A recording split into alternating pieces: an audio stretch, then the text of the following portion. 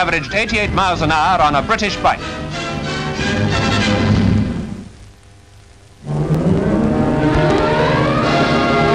At White Sands Proving Grounds, New Mexico, a captured German V-2 rocket was recently fitted up as a camera carrier for a scientific experiment.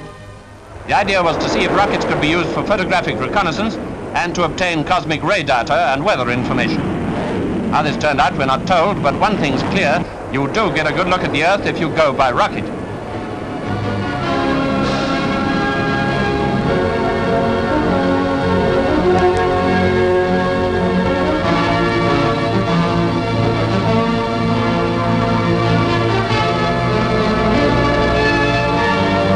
As the film is exposed, it's received in a virtually unbreakable steel container specially made to resist the crash with which the rocket eventually returns to Earth. The V-2, which attains a speed of nearly 3,000 miles an hour, 50 miles a minute on its way up to 76 miles above the globe, gyrates in a dizzy spin, but the pictures are amazingly clear.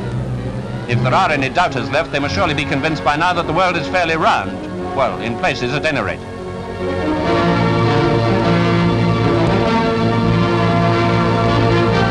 Far below can be seen the Rio Grande and El Paso plain.